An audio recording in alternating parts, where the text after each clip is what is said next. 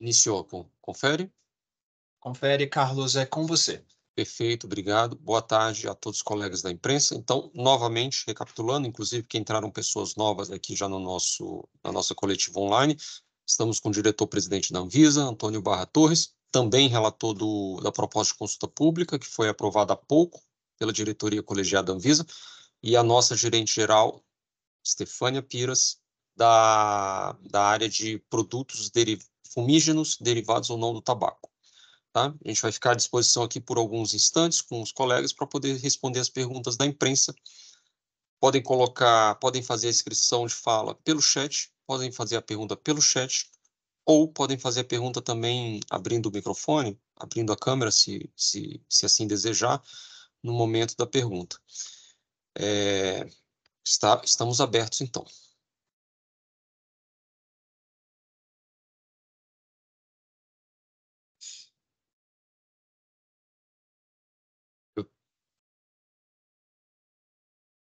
Tenho uma. O Pedro Teixeira eh, balançou a mão aqui. Eu não entendi, Pedro, se é um pedido para encaminhar pergunta.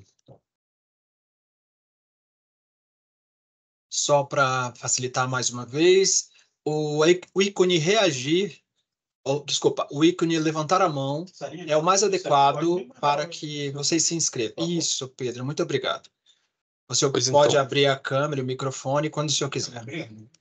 Por favor, Pedro, seu nome e veículo de comunicação pelo qual está falando. Com a palavra.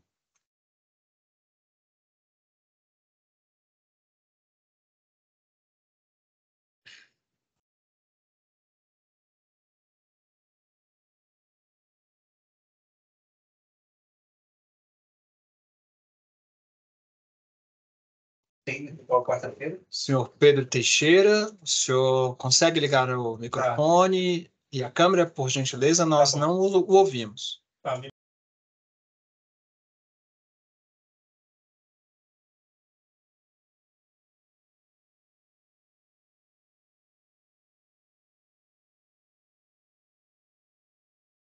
Pedro, a gente enxerga, mas eu não ouço o seu áudio.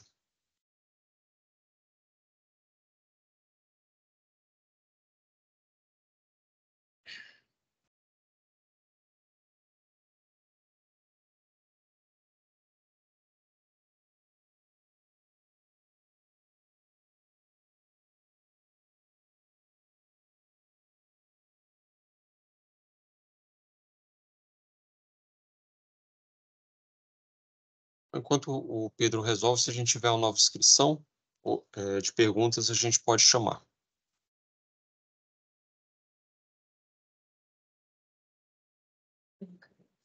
Carlos, até o momento só o senhor Pedro está com a mão levantada, não temos também nenhuma o, manifestação no chat. O microfone dele, para mim, está aberto, tá? Só que eu não ouço. Não, ninguém ouve, deve ser um problema na máquina do senhor Pedro.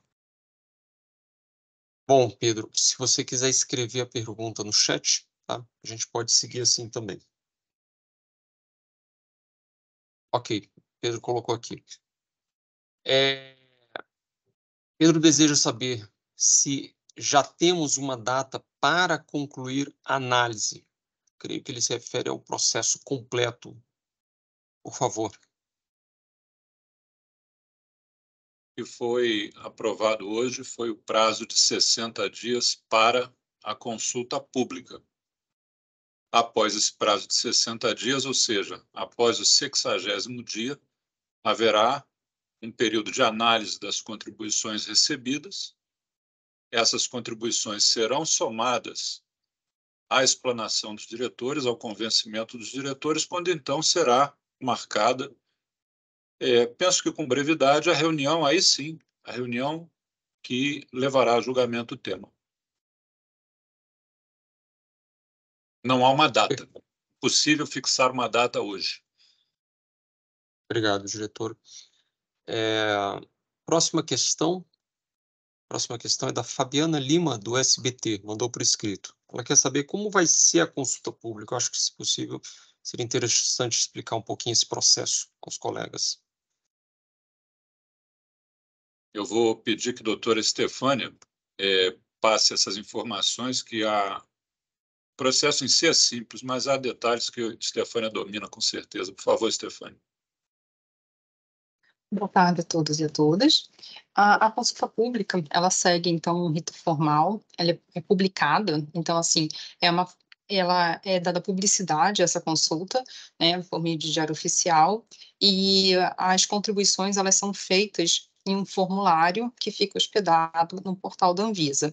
Então, nos próximos dias, é, os senhores devem aguardar e essa consulta ela vai ser publicada, né, o chamamento para essa consulta, para as contribuições, e nessa consulta ficará é, dito quantos dias, que são 60 dias, todas essas orientações. E, posteriormente, é, isso é, é publicado no, no, aqui no, no, portal da Anvisa, e, e, os interessados, eles entram no formulário e, e colocam lá né, suas contribuições, é, eventualmente, para artigos, é, colocam, enfim, traz os argumentos para essa etapa.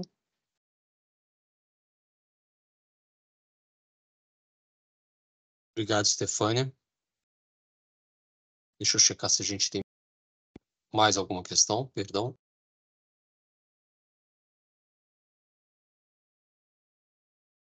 Temos aqui uma pergunta da, na verdade temos primeiro pergunta da Ana Lourenço do Estadão no chat.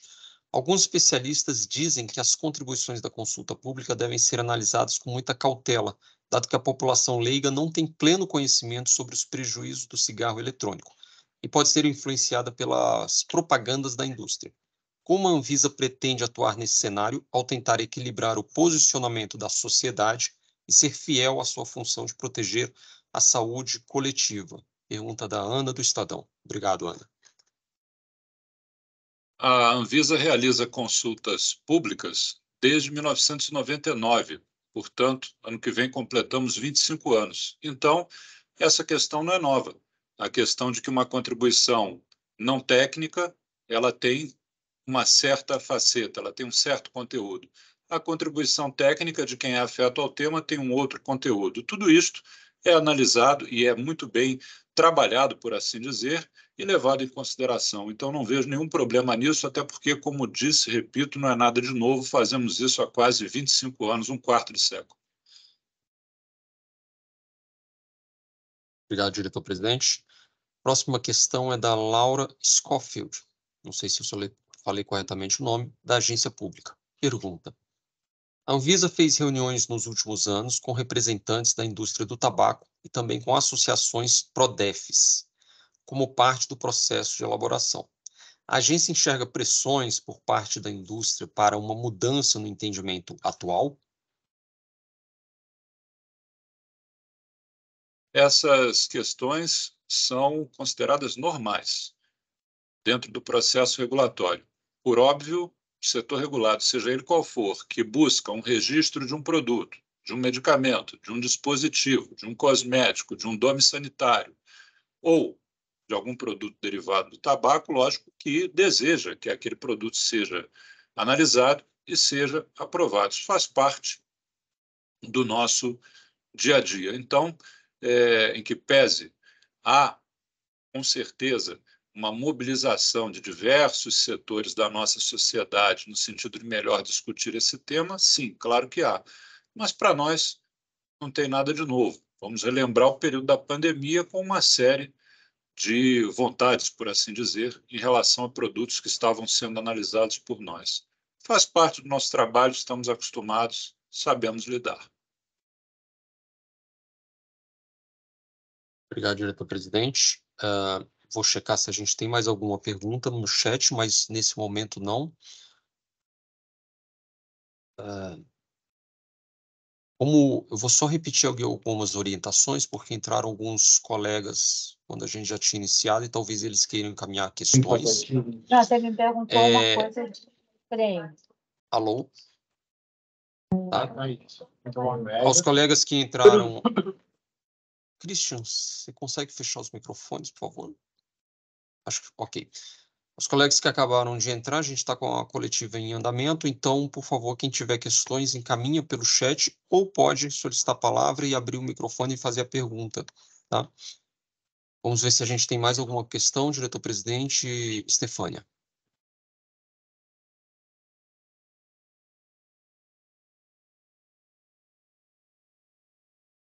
Vamos tentar mais uma vez com o Pedro. Pedro, sua mão continua erguida. Você É. consegue?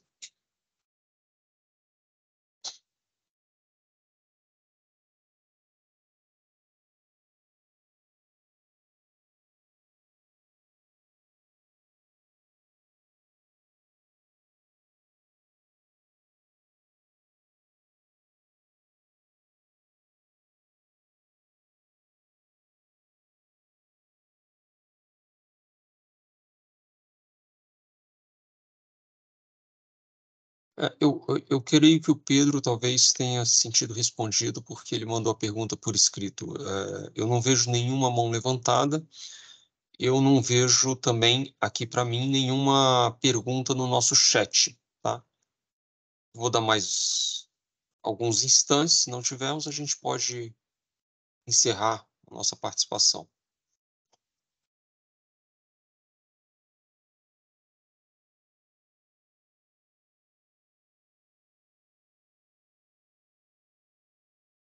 Uma questão, Camila Santana. Você quer escrever, Camila, ou se preferir, pode ab- abrir o microfone, por favor, e encaminhar sua questão para a gente?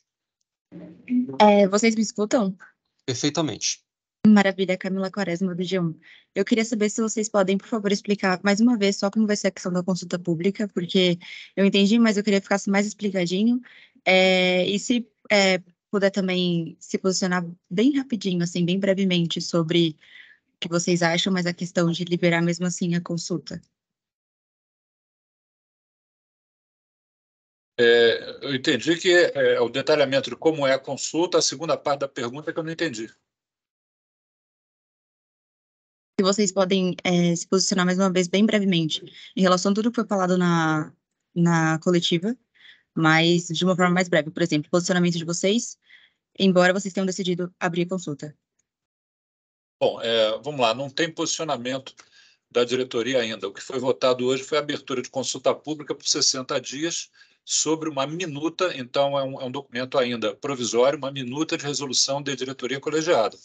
Então, em face do que vier na consulta pública, qualquer caminho pode ser adotado. Então, não há uma posição. O que foi lido hoje, eu inclusive relatei, há uma série de documentos de posicionamentos de diferentes entidades, diferentes órgãos, que apontam para direções. Agora, a consulta pública, dependendo do que venha nela, da contribuição que venha, de um fato novo ou de alguma coisa, é, algum teor que seja considerado bastante relevante, até mesmo a, orientação inicial de uma minuta pode ser alterada. Então, o caso não está decidido. Será decidido após a consulta pública, após a análise das manifestações, numa outra reunião da diretoria colegiada, que não foi essa de hoje.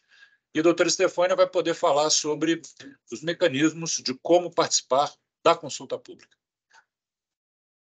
Obrigada, Diego Presidente. É, quanto à consulta pública, como eu mencionei, a, a, o que vai acontecer é a, a publicação dessa consulta pública em, em Diário Oficial da União e logo depois é, é aberto um formulário para contribuições da sociedade. Esse formulário ele vai ficar hospedado na página da Anvisa e, e aí fica lá a própria consulta pública e um link né, para acessar esse formulário. Então, é, é um, também é como outros processos. Então, a, o cidadão que tiver interesse, ele acessa esse formulário e pode verificar os artigos que compõem esse, essa, essa consulta pública e ali fazer as contribuições nesses artigos.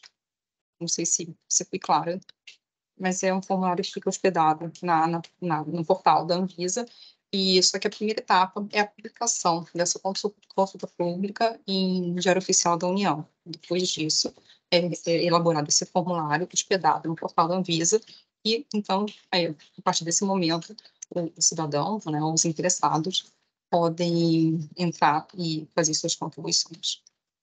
Maravilha. E ainda não tem prazo, né, para sair o, o formulário. É, eu, eu, posso trazer uma informação via assessoria, um, só para clarear sobre o regulamento. As consultas públicas, é, foi Camila que perguntou, né? As consultas públicas, Camilas, ela tem início sete dias após a sua publicação no Diário Oficial da União.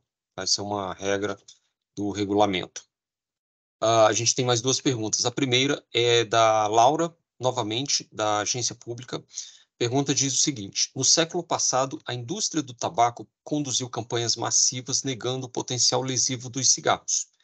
O senhor, como representante da Anvisa, enxerga um paralelo com a campanha que está sendo feita em relação aos DEFs? Doutor Barra. É, não fiz essa análise. É, não fiz essa análise. Hoje a realidade é muito diferente. Nós temos recursos de comunicação que não haviam no século passado é, a atividade regulatória ela não entra nesse tipo de mérito de campanha publicitária, o que, que foi feito, o que, que deixou de fazer. Não é nosso escopo. O regulador não faz isso, então seria leviano de nossa parte tecer alguma consideração quanto a marketing. Certamente outras pessoas podem fazer isso melhor do que nós. O que nós temos que verificar é a proteção à saúde do cidadão e tudo que se relaciona a esse foco principal. Questão de marketing, nós não tratamos disso. Obrigado, doutor Barra. É, vou ler a próxima pergunta, mas só lembrar aos colegas que, em alguns instantes também, a gente deve publicar no portal da Anvisa é, uma nota com a síntese da aprovação de hoje. Próxima pergunta, doutor Barra e Stefânia, é da Fabiana, do SBT. Ela pergunta se há alguma previsão a respeito de recolhimento de impostos. Acho que podemos fazer um clareamento aqui das competências. É, olha, doutor Stefano, se quiser acrescentar, fica à vontade. É, nós não tratamos da questão de recolhimento de impostos. Recolher impostos do quê? É, não entendi. É, de quê? Os impostos daquilo que é regulamentado e autorizado são recolhidos. Não, não, não, não atuamos na questão de impostos. Plenamente de acordo. Deixa eu checar se temos mais uma pergunta. Se temos mais alguma mãozinha levantada, se não, podemos. Camila Santana, você pergunta aqui se vamos disponibilizar a gravação, né? Só um esclarecimento, todas as reuniões da diretoria, reuniões públicas da diretoria, elas são gravadas e ficam disponíveis, tá? É...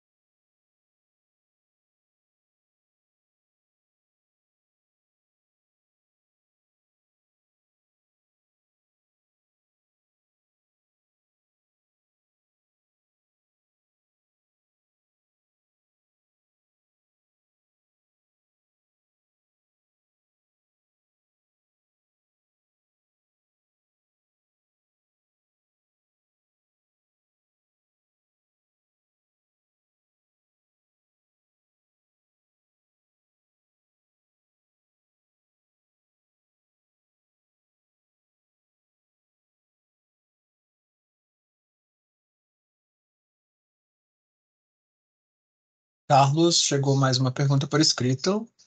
Ah, isso, é bom. Estávamos encaminhando aqui para o fim, mas uma última pergunta, Fabiana.